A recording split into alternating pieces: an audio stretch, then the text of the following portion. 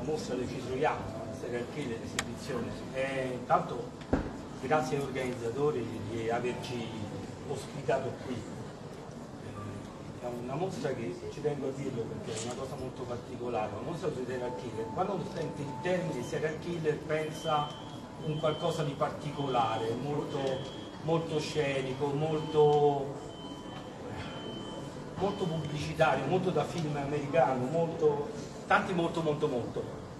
Questa è una mos- mostra, io invece definirei storica, storica per due motivi, storica perché di questa tipologia di mostre non ne vengono spesso, quindi è un'occasione proprio per visitarla, perché non è detto che ci sarà di questa intensità con questa tipologia di reperti.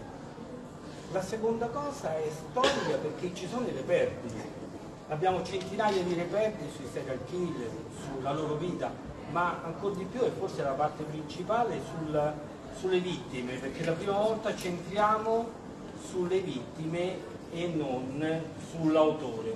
Non è il fascino del serial killer, è purtroppo la vittima del serial killer. Forse una mostra particolare che al contrario di quanto si può pensare cede dalla parte del sensazionalismo famoso facile serial killer ma tocca un argomento fondamentale che è la vittima. Ricordiamoci che dietro ogni omicidio c'è una vittima, pensiamo prima alla vittima.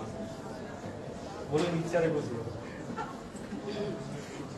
Però abbiamo visto, girando la mostra, che eh, sono tutti, quasi tutti stranieri.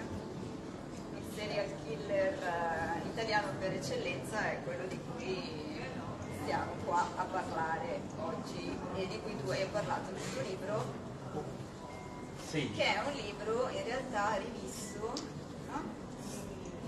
Da, è una riedizione del libro che aveva scritto Luciano Perugini, chi ha seguito un po' la vicenda del mostro sa essere uno dei maggiori protagonisti eh, proprio dell'inchiesta e colui che ha portato all'individuazione e poi al processo eh, Facciani. Com'è nata questa idea di rivisitare un testo una, una cosa un po' strana. eh, nel 90, credo 94-95 Ruggero Perugini eh, viene in servizio alla polizia scientifica, quindi diventa direttore di una divisione di polizia scientifica, tra l'altro la divisione dove ero io. Quindi l'hai conosciuto proprio Sì, no. campo, diciamo. Sul campo sì, sì, era il mio dirigente. Eh, è stato circa, se non ricordo male, due anni, dopodiché è andato a lavorare alla Corte Europea, quindi qualcosa di molto importante. Ehm, cosa succede? Nei due anni lui era una persona particolare, purtroppo parla al passato perché è scomparso circa un anno fa. Eh, ha sempre dato, una persona di quelli che tutti i pomeriggi se non c'era nulla da fare ci mettevamo tutti seduti e lui raccontava perché lui aveva una formazione di più di 5 anni a quantico, molecular BI, quindi ha una mentalità molto particolare.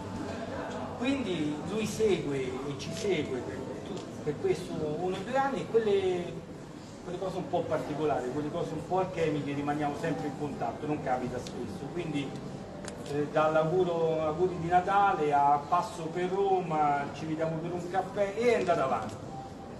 Fino a 3-4 anni fa che ci siamo trovati sempre ovviamente per caso, abbiamo iniziato, o per caso perché ce la siamo trovata, abbiamo iniziato a parlare e abbiamo detto ma perché non scriviamo un libro sui serial killer? Al che nasce tutta una serie di collegamenti Zoom. Lui a Torino e a Roma ci collegavamo con Zoom e, io- e parlavamo, parlavamo, parlavamo, quindi ogni tanto andavamo a trovarlo andavo a trovarlo a Torino, ospite a casa sua, poi ritornavamo e parlavamo tantissimo. E, tra l'altro una, una parte di questo video, credo adesso lo metteremo su quel- sul canale che stiamo gestendo, Murders by Neurocrime, che stiamo cercando di fare Però abbiamo tanto girato, tanto girato e avevamo iniziato a buttare giù una, una storia che era praticamente un nuovo libro. A un certo punto, mentre stavamo veramente avanti, lui mi chiama un giorno e mi dice ti devo dire una cosa, non farò un nuovo libro. Infatti era un di po' scena. colpo di scena, perché? Perché il mostro di Firenze lo aveva ossessionato. Lui era veramente ossessionato dal mostro di Firenze. Anche però ci avevamo, ci avevamo troppo bene, abbiamo trattato. Là è nata una trattativa decentrata, modello Fiat anni 70 e prendendo spunto dalla Fiat, no, da, da, da quello che avevamo portato fino ad ora abbiamo deciso di prendere il suo testo e di aggiungerci un capitolo finale, che poi è corposo perché è credo 30-40 pagine. Quindi abbiamo rivisitato il capitolo finale, perché il libro, per chi non lo sapesse, il libro un mostro abbastanza normale, lui lo fa in un momento molto particolare della sua vita, quando inizia il processo a Pacciani. Quindi è un libro che lui scrive in quel periodo, che non voleva pubblicare in quel periodo perché voleva aspettare la fine del processo, invece la casa editrice prende e decide di pubblicarlo. Usando un termine un po' particolare, è un libro quasi monco se vogliamo, nel senso che inizia nel processo ma non racconta. Certo. Quindi abbiamo rivisitato tutti quanti i duplici omicidi con le teorie della Mord che lui conosceva benissimo e abbiamo vissuto questa tipologia di... ecco come nasce, no? nasce da tanto affetto e una cosa che probabilmente lui eh, era probabilmente lui che fa, eh, accetta il contratto della casa editrice tipo tre giorni prima che poi purtroppo cioè è stato proprio tipo una cosa finale. L'ultima sì. sua fatica. Noi non ci siamo però presentati sì. Abbiamo, siamo partiti così. Vabbè, allora io ti presento okay, Altina poi... Perez, direttore di Giallo, eh, persona più che, che nota, eh, giornalista investigativa, esperta del crimine. E, no, ne potremmo dire tanti perché eh, quando ci vediamo anche da lei mi fa vedere cose appese che Però voglio puntualizzare una cosa perché è particolare.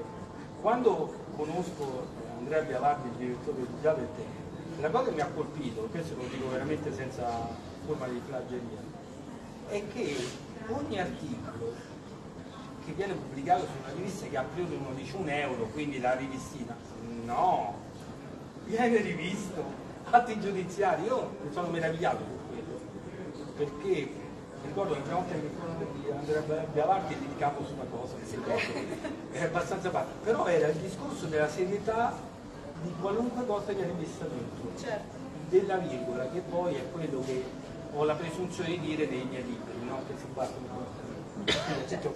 Diciamo che più o meno facciamo la stessa cosa, io lo faccio sul giornale serialmente, mentre lo fai sui libri, quindi in maniera più approfondita sicuramente perché un libro assicura più spazio anche fisico rispetto a un articolo e quindi è chiaro che poi è tutto più Va bene. Sì, è un libro, magari poi sono tematici, quindi esatto, non è tutti omicidi avvenuti in Italia dal 1930 al 78. Ne approfondisci Sì, uno può approfondire bene.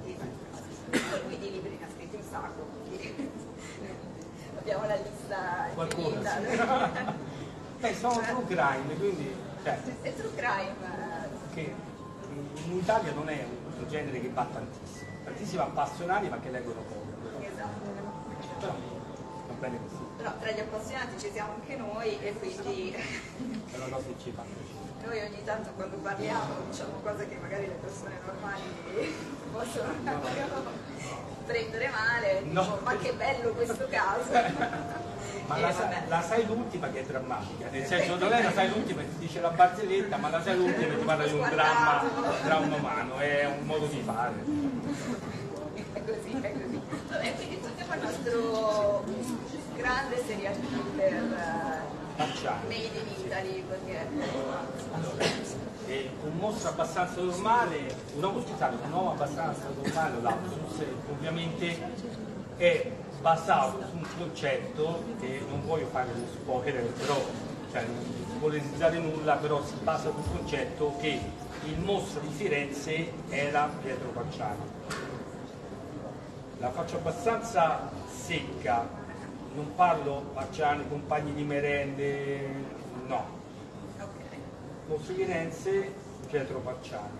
Pedro Pacciani ricordiamo che è stato condannato in primo grado, assolto in secondo grado e la Cassazione ha tolto, annullato la sentenza di secondo grado. Quindi ovviamente in Italia abbiamo la presunzione di innocenza e mi guardo bene a dirlo, diciamo che è rimasto alla condanna di primo grado. E poi è morto. E poi è deceduto. Quindi diciamo che è morto da innocente per la giustizia. Totalmente morto da innocente, questo dobbiamo dirlo. Cioè vale per tutti, vale per i Facciani, un domani vorrei che valesse pure certo. per me, tutti. Cioè, come diceva il grande Bosco sul calcio, diceva il rigore è quando arbitro fischia, colpevole è quando va in galera, cioè, cioè possiamo Bosco come criminale. Quindi non Pacciani con compagni di merende, con un secondo livello superiore, eccetera, eccetera, ma Pacciani come veramente persona disturbata e che ha fatto tutto da solo.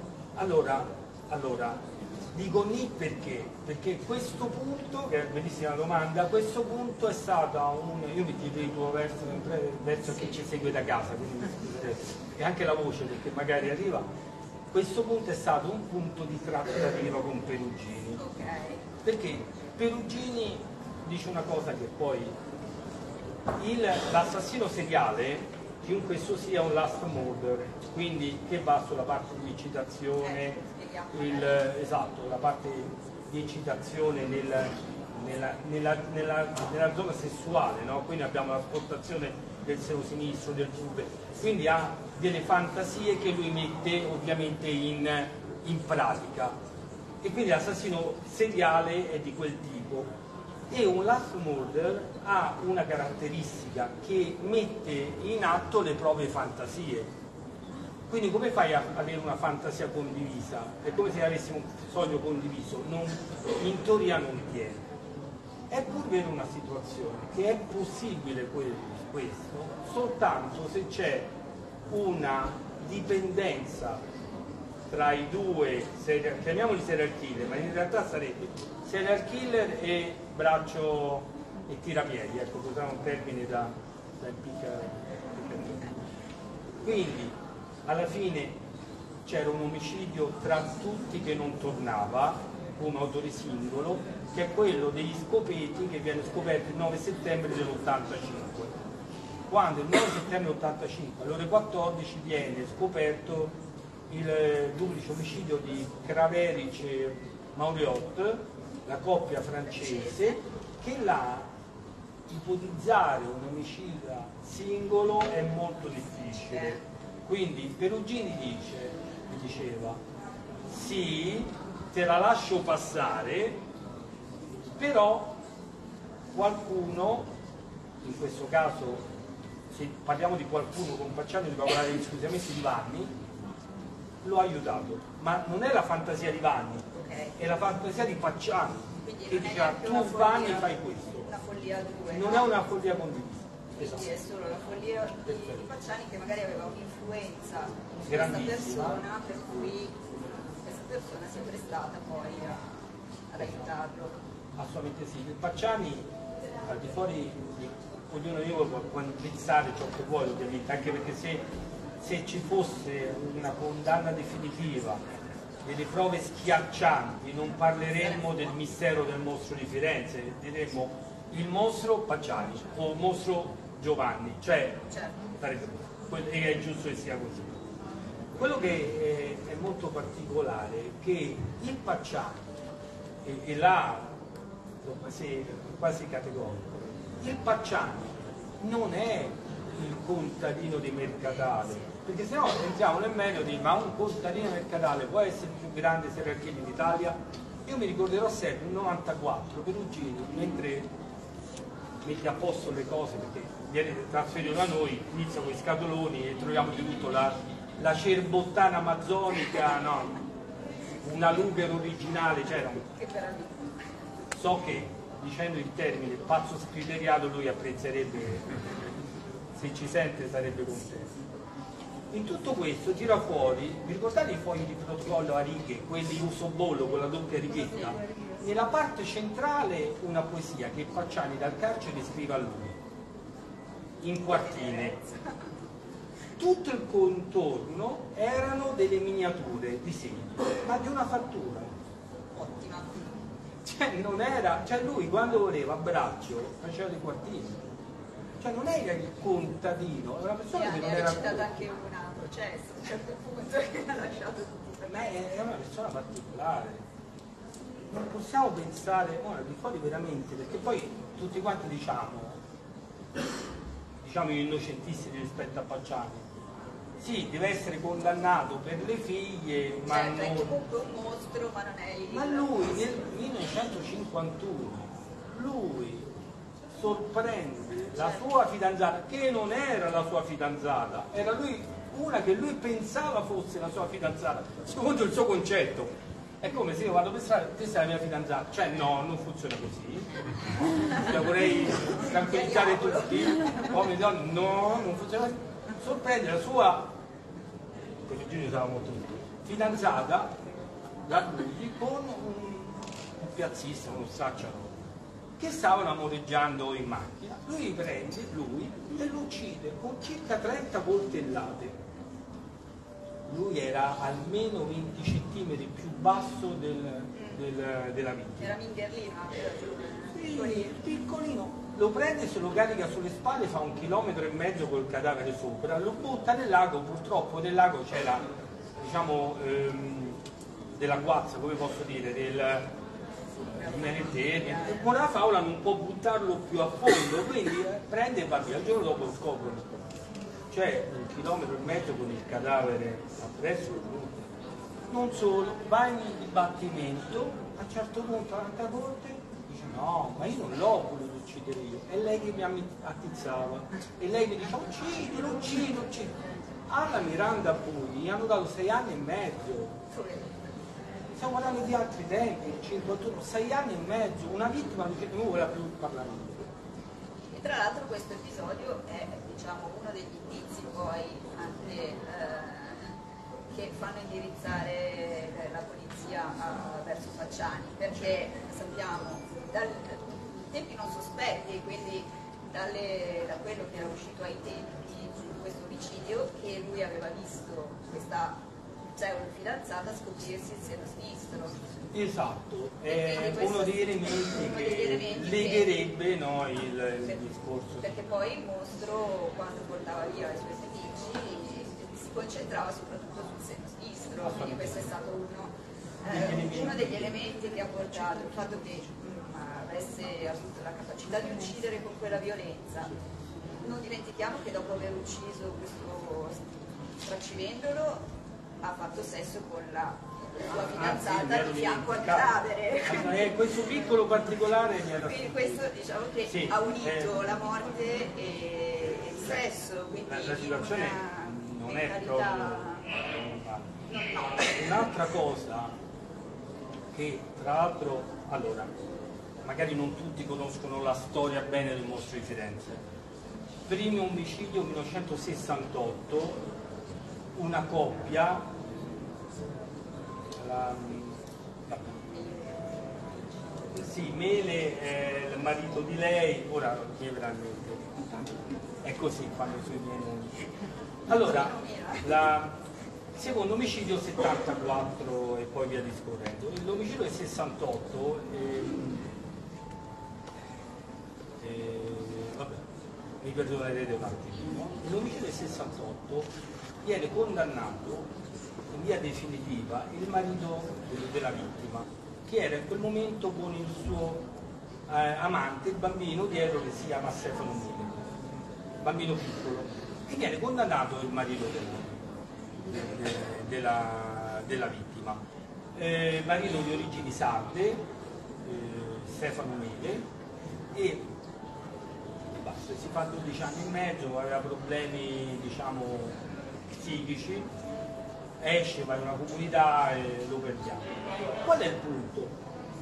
Se è stato condannato nel 1968 con quella pistola, Stefano Mele, come ha fatto la pistola a trovarsi in mano a un X omicida del 74? Cioè, c'è un passaggio di pistola. perché abbiamo gli stessi Gli stessi, a livello balistico si, si riscontra. stabilisce che la pistola Era questo il grosso problema. il passaggio della pistola.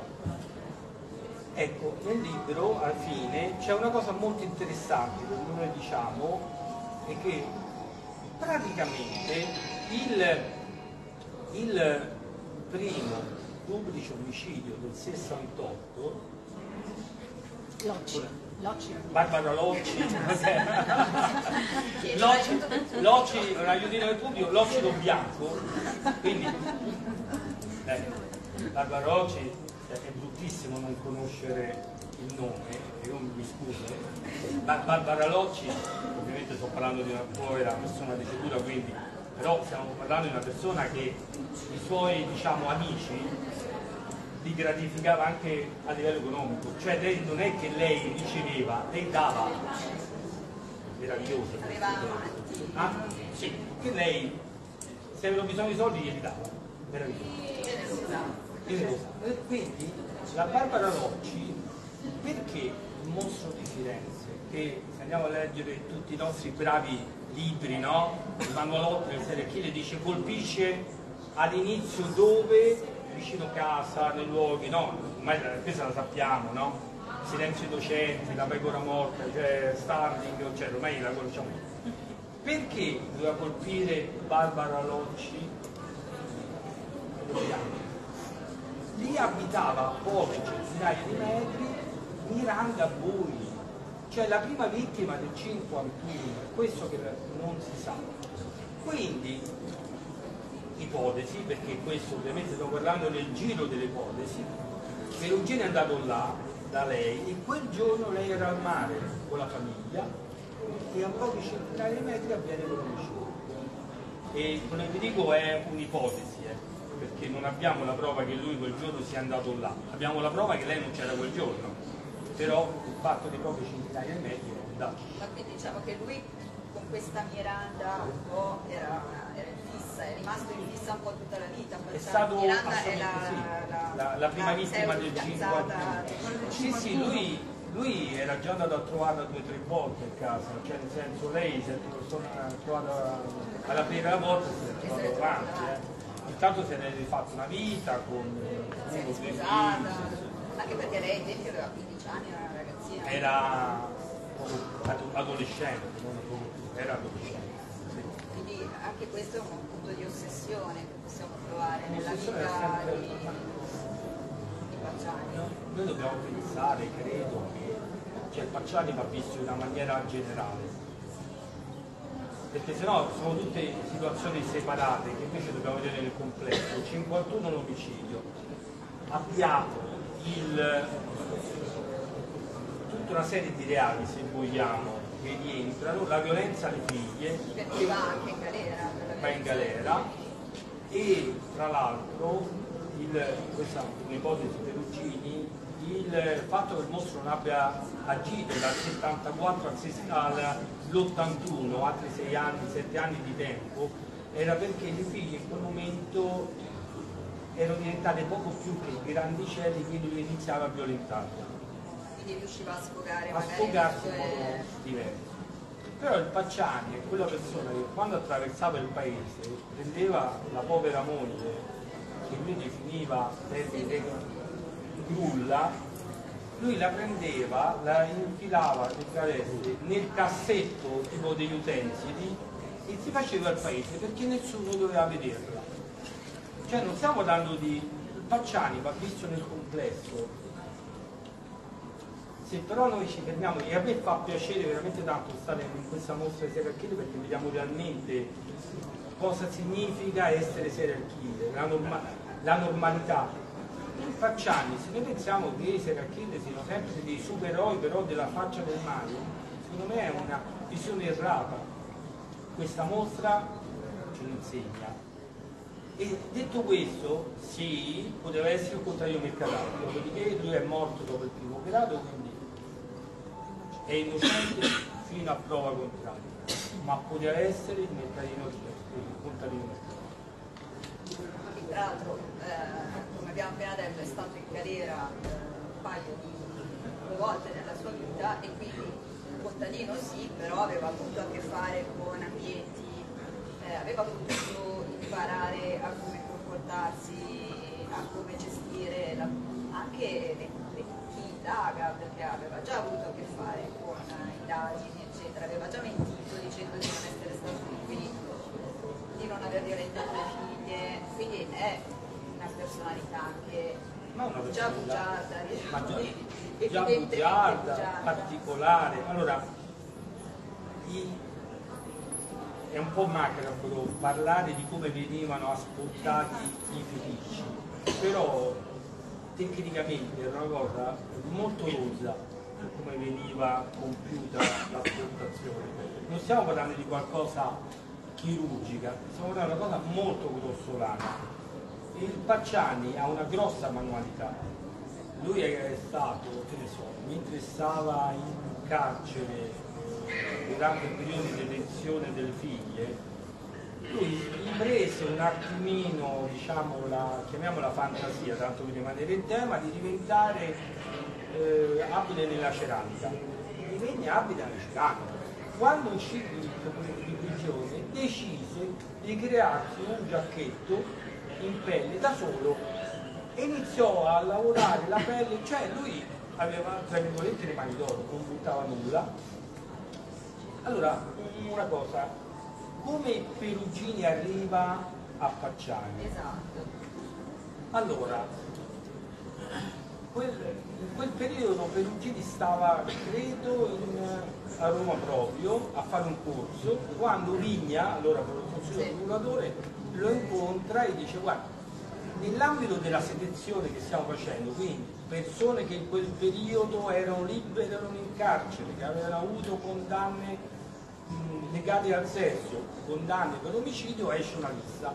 In particolare c'è Pietro Pacciani. Pietro Pacciani è, diciamo, riceve, riceve dei carabinieri una lettera anonima, vado a memoria ma credo di non sbagliarmi, il 12, scusate, il 19 settembre 85, quindi praticamente dieci giorni dopo dell'ultimo duplice omicidio. Ricevono una lettera i carabinieri che dice proprio è Pietro Pacciani andare a... cioè proprio Specifica. specifico. Al che Vigna lo dice a Perugini, Perugini torna, doveva tornare a fine corso a Firenze ed inizia a vedere tutto l'elenco dei nomi che per la prima volta, stiamo parlando del 92, la SAM, quindi la squadra antimostro, utilizzava il computer computer, come... certo. Quindi vedeva ogni nome, ogni nome vedeva se corrispondeva. Poi dopodiché vedono Pacciani che è di Carovigna e dice sì, però stiamo parlando di una persona, noi ci siamo prefissati che limite massimo, non mi ricordo se hanno dato 65 anni, qua vado a memoria, perché ovviamente basato dal primo duplice omicidio all'ultimo, l'età 65, qua siamo un po' fuori, cioè era tipo qualche mese fuori. Sì, diciamo che non coincideva neanche tanto con eh, profiling che No. avevamo fatto. Però su quello magari Perugini era sempre molto... Eh beh, qui molto attento, molto si avvaleva da facoltà di non parlare finché non conosceva. Una fallo che fa? Prende e dico vabbè, vediamo chi è, perché la prima cosa che fanno vedono il, eh, lo stato di salute e che lui aveva avuto già prima il duplice omicidio un infarto. Quindi, visto che l'omicidio della Pettini il corpo viene spostato fuori, in altri casi c'è fisico, ho detto "Va, scartiamo Pacciani. Proprio per scrupolo vanno a fare, dice "Vai, andiamo a vedere che persona è. Arrivano praticamente vicino, lui aveva una doppia abitazione, Pacciani, a un certo punto lui esce, va tipo nell'orto, alza un tronco immenso e se lo porta di peso. Con loro che se lo guardano così, però io mi immagino la scena, questa però è la mia immaginazione, modello cartone animato, colui che camminava, no? Prende Fabio Corte, allora dicono, vabbè, questo, cerchiamo di non scartarlo, ecco. Il fisico ce l'ha. allucinante. Ah, e poi, scusami se ora, il discorso compagni di merenda è molto particolare perché finché Vanni va bene, ma gli altri ho dei grossi dubbi. Eh. Mi spiace, magari ci persone che pensano compagni merenda che in teoria, essendo stati condannati in via del tutto definitiva, poi sono deceduti, sarebbe facile dire trovare loro. Però troppe, troppe questioni. proprio se possiamo dire in Con i termine gofreni, tecnico, lo. Sì, era ma proprio, aveva proprio Sì, dei problemi mentali. Ma ecco. diciamo che per il lato, ma cioè per capire il livello dei problemi mentali, il- mi pare Pucci, però potrebbe essere Lotto, Lotti, siamo là. Cioè, lui, Lotti, Lotti stava ogni giorno, c'era il ristoratore gli dava un piatto di pasta perché ovviamente faceva tenerezza, non, tra l'altro dormivano di sottoscala o dal prete in una situazione particolare. Il ristoratore, uomo diciamo abbastanza robusto, col barbone, un giorno per prendere un giro si mette la minigonna, una gonna della moglie e va a servirlo. Con- E lui inizia a parlarci dicendogli che era una donna che gli piaceva Lotti. E Lotti non è che dice capisce, Pensa veramente. pensa veramente che sia una donna che fa le avanti. Ora, pensare a una persona comunque che è indiscusso, intelligente come Pacciani, perché Pacciani era intelligente, su quello non c'era dubbio. Vanni era il possibile Mercatale un esecutore, ricordiamoci che quando la moglie è incinta lui la butta dalle scale, quello vi fa capire un attimo la... pensare che si affidassero a un Lotti a Pucci per fargli da palo, cioè loro magari sapevano perché tipo. sì, la situazione è veramente degenerata. Il fatto della situazione degenerata purtroppo cozza la situazione, il fascino, le terrechine, tutti i Ted Bundy, no? con sguardo cioè, ammaliante, no? Cioè, no, no. Beh, girando la mostra dai si vede. Girando la mostra si ha uno spaccato reale per fortuna. Esatto, che non sono tutti Superman, Certo. muscolosi, eccetera.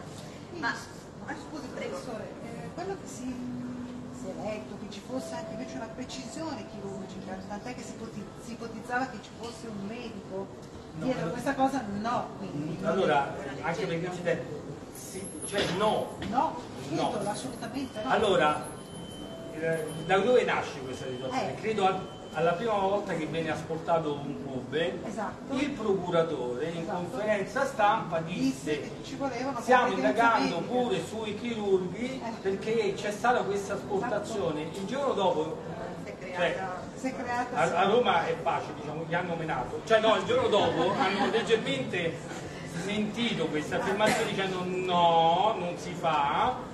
E no, Però è- ma dato è inizio, eh. sono tre asportazioni. Anche perché, eh, diciamo, sì, è rimasta Vero? eh, il Sì, coltello... sì, perché il fu le affermazioni. Esatto. E il coltello usato è un coltello non è un coltello... Sì, è un coltello, diciamo, da caccia, come da- posso da dire, no?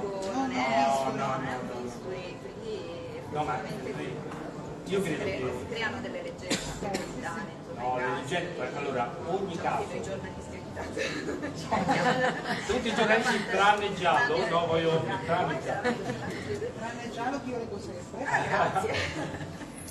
No, ma è bellissimo perché mostro di Firenze come Pasolini, come il caso Pasolini, il caso Simonetta Chetaroni, sono 4-5 quelli particolari, danno adito al mondo della fantasia e poi, come questo mi capita anche in prima persona, quando succede un qualcosa di un qualche collegamento, il figlio della portinaia, del cugino, del fratello, del macellaio la conosceva, cioè 12 collegamenti, eccetera.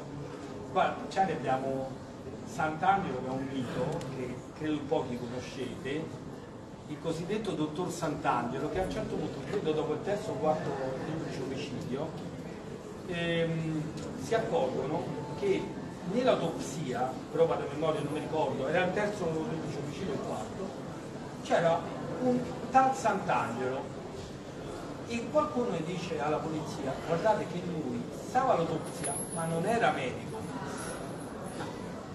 Come era medico? Prendono questo Sant'Angelo lo portano in il procuratore lo porta e lui dice no ma io ogni tanto vado all'uditorio perché mi piace era talmente di casa che lo chiamavano dottor Sant'Angelo e nessuno si preoccupava più della sua presenza e sembra abbia fatto due autopsie dato che era di buona famiglia lui risiedeva in albergo che però indispensabilmente doveva dare vista cimitero. Sembra, cioè, sembrano leggende, ma è vero. Quando lui parla al procuratore, il procuratore stringe la mano e gli fa guardi, non si preoccupi, lei è troppo scemo per essere il mostro di Firenze.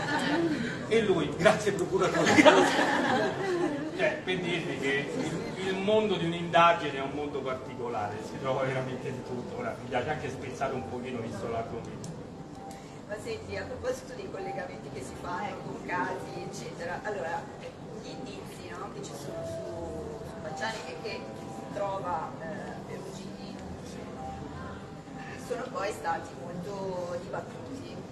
E io ho letto, eh, tu, tu hai scritto che eh, Perugini aveva due, aveva due, due cose che lo preoccupavano sulla vicenda del mostro. Uno che non avesse confessato e la seconda cosa era eh, di aver trovato paradossalmente Sì.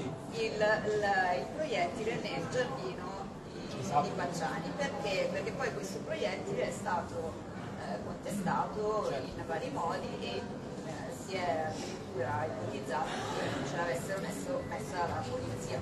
Dico, il collegamento eh, mi viene sulla- anche sulla cronaca di, di- di tutti i giorni, no? anche quella recente, siamo con eh, Olindo e Rosa, caso di Erba, per cui c'è il carabiniere che ha messo la- viene accusato di aver messo la macchia di sangue, che viene accusato di aver estorto una confessione, che viene accusato di aver... quindi in tutti i casi no? c'è sempre un po' questo complotto, questa, questa idea del complotto della polizia che a tutti i costi deve trovare un colpevole e fa delle cose pazzesche. Tu che l'hai conosciuto, lui Allora, intanto diciamo che, eh, infatti lo dico, piccola premessa, eh, a noi piace tanto il complotto. Esatto. Quindi quando c'è qualcosa che non va uno dice c'è qualcosa a livelli che noi non conosciamo. Cioè, Eh, I servizi avranno messo mano. La realtà non è questa, cioè ho mio cugino del fratello del macellaio di prima che mi ha detto una cosa che non posso dire. Cioè, ho scritto un Cioè, libro su Pasolini, cioè io ho scritto un libro su Pasolini, ogni persona che ho incontrato per un anno ha detto questa frase, ognuno. Ma come scrivo un libro su Pasolini senza chiamarmi prima? Ma lo sai quello che so io?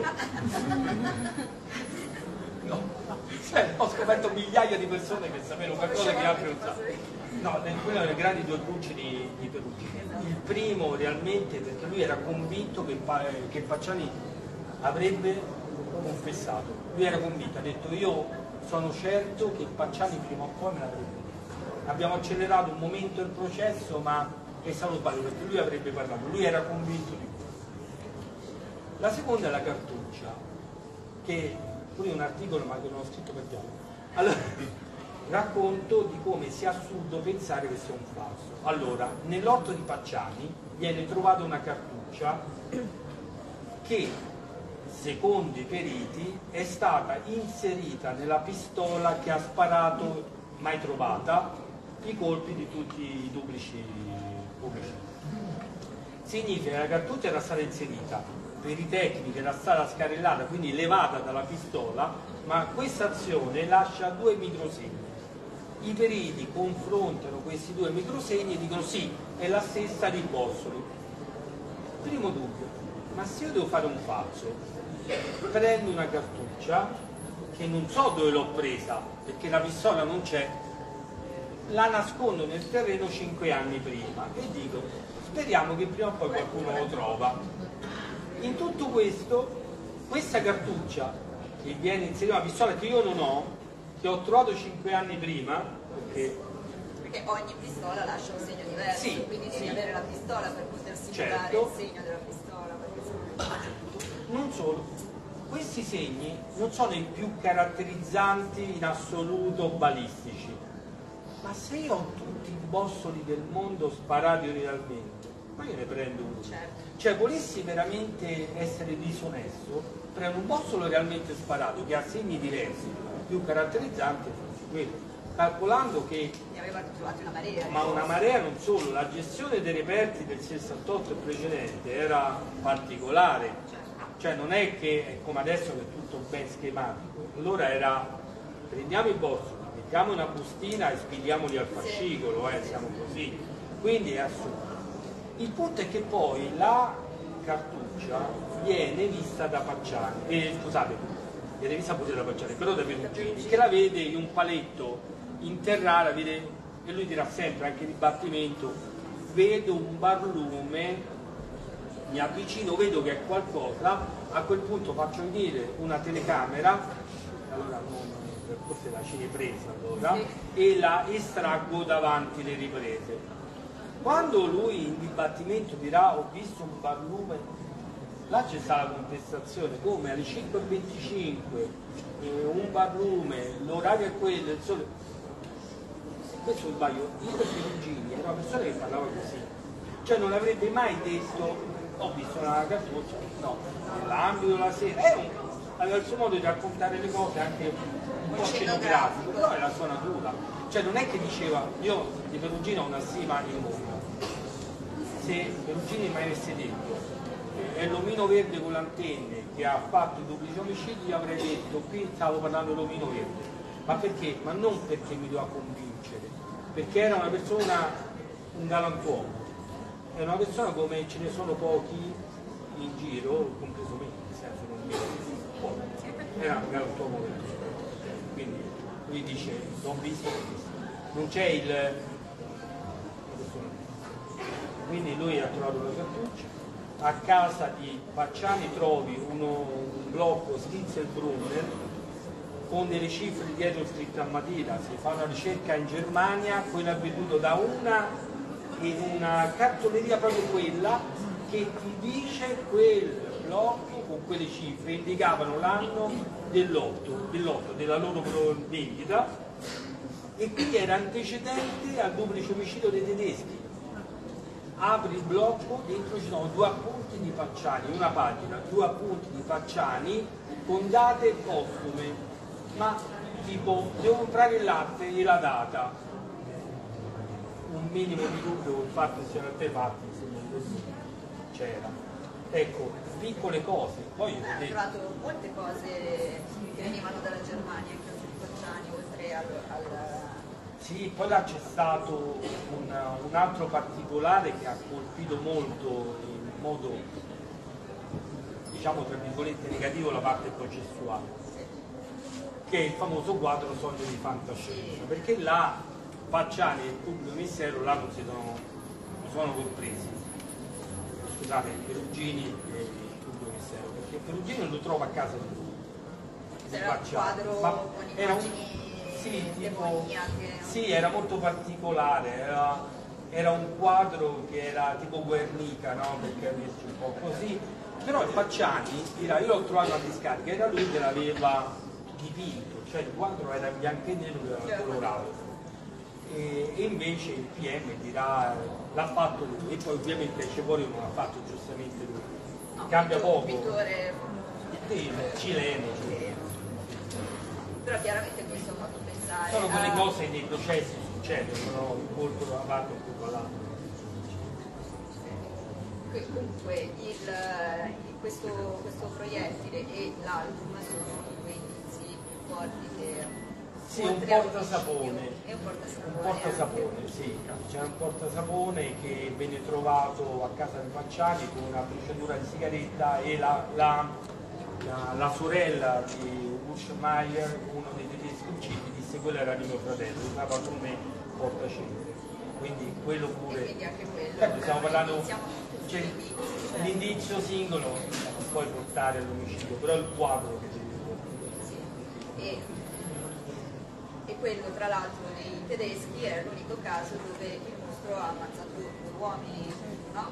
e quindi non ha potuto portarsi via un feticcio che anziché il feticcio si sia portato via a ricordo della, della assolutamente sì. c'era sicuramente qualcosa perché poi da quello che si può sapere perché poi le borsette dei vittime vengono anche slugate poi alla fine quello che realmente contenevano era difficile no? a posteriori. Però lui non prendeva anche alcune volte le somme di denaro non venivano prese cioè per lui era importante il felice. Ricordiamoci che Pacciani, che ha sempre fatto lavoretti di fortuna, è stato, non ricordo quanti anni, mi pare 12 anni, però vado a memoria sull'omicidio eh, del 51. Pacciani che ha fatto sempre lavoretti di fortuna, aveva un patrimonio molto Ecco. consistente. E questo patrimonio, secondo Perugini, come se l'era Allora? Perugini è sempre andato contro un livello superiore che acquistava i fetici. Per lui non, eh, no, non era, per lui no, per lui no. Lui riteneva che tutti i soldi che aveva Pacciani era proprio il suo stile di vita. È pur vera una cosa, alle figlie il cibo dei cani, cioè, effettivamente le figlie comprava il saccone del, del cibo dei cani, quindi effettivamente i soldi delle figlie che lavoravano come ragazze per le- delle pulizie, più o meno li prendeva tutti lui, certo. Eh, il stile di vita. non sappiamo, però diciamo, secondo Pacciani era quella la situazione. E riteneva che i feticci, come spesso accade in questa tipologia, forse, lui dice, in genere l'omicida li mangia, però in questo caso potrebbe averli dati da mangiare. Lui aveva questa convinzione. Eh beh, però, Però girando la mostra lo vediamo che è così, è, cioè una delle, è una delle cose, mangiare, friggere, cucinare, i fetici per, ma, ma è proprio una questione psicologica, perché è un po' appropriarsi della vittima per ottenerla addirittura mangiarla, Averla. quindi averla, possederla proprio Cioè io la metto dentro i mezzi, 100%, ce l'ho cioè, sempre. Generalmente poi c'è un altro fattore del finiccio reale che, che Pacciani, cioè Perugini non diceva. Cioè noi non possiamo sapere se durante un duplice omicidio lui portassi via il pettinino della vittima, una moneta, 100 lire. Una volta esistevano lire. Allora, le 100 lire perché lui le metteva dentro il cassetto, ogni tanto le prendeva, le vedeva che si e ricordava. si ricordava. E così dice alcune cose che stavano dentro casa forse appartenevano ai vari uffici. Però lui dice questo non possiamo sapere, può essere qualunque cosa. che per noi a noi non dice Comune, niente, a noi non dice nulla. Ma il fatto che eh, Pacciani però avesse un rapporto con quelle donne molto violento e il fatto che il mostro di Firenze non violentasse le sue vittime ma le uccidesse e basta. Qua ci dovrebbe essere Valentina Masselli. Ci vuole uno psichiatra. Però, però diciamo che diciamo che da quel punto di vista possiamo dire che non cambia di molto. Cioè lui comunque si appropriava della vita altrui. Poi quello che succedeva in quel momento, lui aveva delle forme che probabilmente lavoravano di erezione, di situazioni, di addirittura di goduria, allora non possiamo sapere. Anche perché ricordiamoci che l'ultimo duplice omicidio avviene nell'85. Come in Italia credo nel 91 abbiamo iniziato a trattare un po' di più il DNA, sul, scusate, il DNA sul tracce sigue modello sperma. Cioè sei anni prima ovviamente non si può lavorare. Ma secondo te con le tecniche di oggi sarebbe possibile rianalizzare qualche reperto del tempo per trovare appunto un DNA, qualcosa di più? Allora, a priori direi di sì, assolutamente sì. Però da quello, le notizie che ho, che credo siano abbastanza attendibili, si stava già facendo in procura nell'ultimo anno e la tenda, hanno rianalizzato la tenda, hanno trovato un proiettile conficcato nel materassino di cui non Sì. si erano accorti all'epoca e non hanno trovato tracce di DNA nei punti nevralgici, poteva essere la chiusura lampo, no? Perché comunque non lo toccavano, avevano sempre un'arma. Cioè, non possiamo saperlo. Però attualmente ha essere lo Però se altri reperti. Allora, probabilmente la tenda utilizzata dai francesi entrano in contatto con l'omicida, perché il corpo di lei, la Moriotto, si viene trovato lunedì all'interno con la chiusura lampo cioè abbassata, quindi sicuramente l'interazione là c'è stata, però non, E sui vestiti delle vittime. già difficile di per sé nell'immediatezza, troppi anni non c'è stato un grosso informazione. E poi non so nemmeno se sono stati più simpatici ho dei grossi dubbi su questo e adesso? Il prossimo libro? La domanda il prossimo libro che dovrebbe teoria consigliato pure abbastanza presto eh, dovrebbe essere suo Manuele Urlano impegnativo. Sempre eh, delle cosine. delle cosine dovrebbe essere nel senso perché martedì dovremmo consigliarlo, in realtà dovrei consigliarlo. E siamo in ritardo. Eh, ma per colpa vostra sono Ah, quest'ora mi ha distratto. Vabbè, ti giustifichiamo.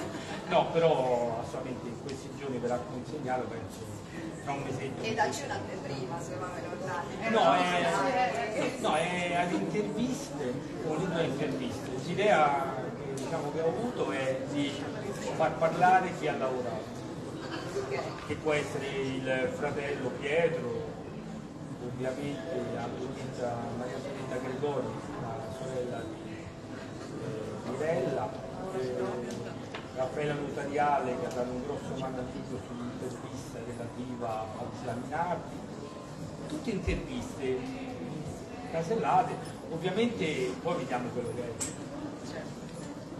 E sei in suspenso, in questo caso Vediamo, vediamo quello che suspenso. Speriamo che si riesca a qualcosa di quantomeno leggibile, poi i contenuti non posso assicurare. Vediamo se qualcuno ha qualche domanda magari, avete qualche curiosità su Perugini, su, su qualche cosa che non è chiara, che non abbiamo spiegato benissimo. No, quello che diceva lei, quindi di cosa del secondo, famoso secondo livello, cioè del collegamento con questo fantomatico Allora, secondo livello. Perugini E la figura del farmacista, anche, Allora, no, no, quello, ecco, tocchiamo un argomento molto Eh, interessante. esatto.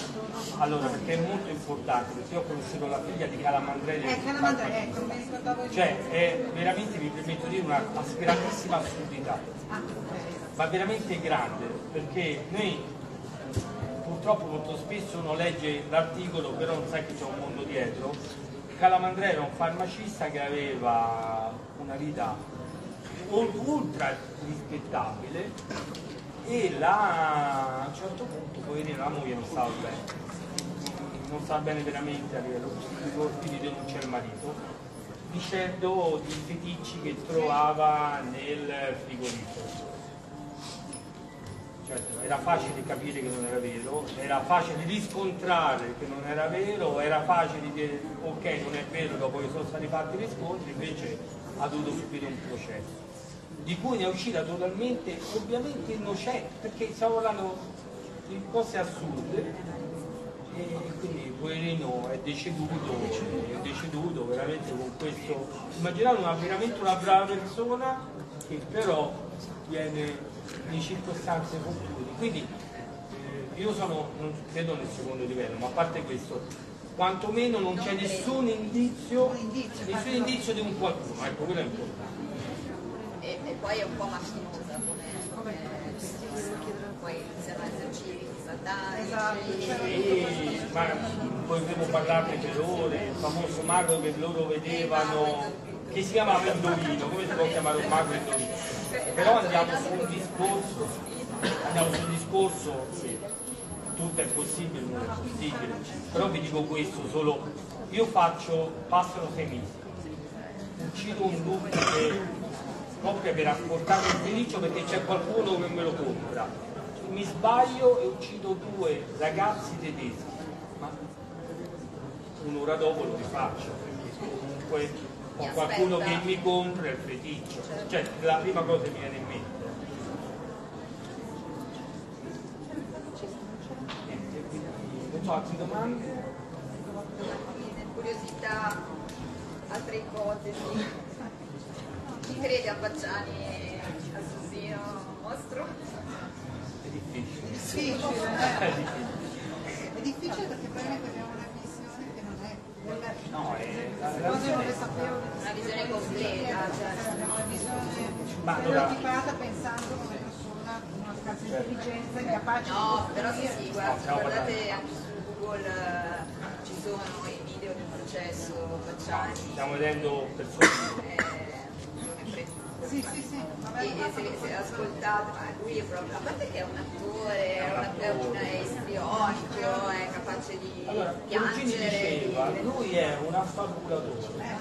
Lui si metteva là e, e lui Allora, la capacità linguistica dice, ne subivo la, la personalità. Per- Perugini è una persona cioè, con una fortissima personalità. E poi dice quando stavo con Pacciani, lui andava sempre a trovare il carcere, io la sua personalità. Eh, aveva un carisma. Un Carisma. carisma particolarissimo.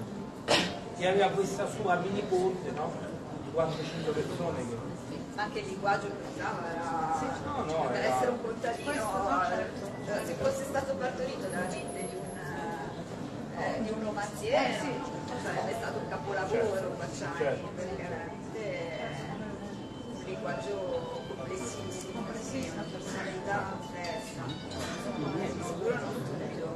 Sì, avevano fatto anche una serie in televisione. così. Sì, credo che le serie su Pacciani, sul mostro di Sono Renzi, differenti, certo, certo. sono interviste, Certo. È ovvio che a livello mediatico Pacciani tira sicuramente meno del, del grande Serafinte, no? affascinante. Certo, perché esce, no? Perché poi lo vedi e È brava. Esatto. Esatto.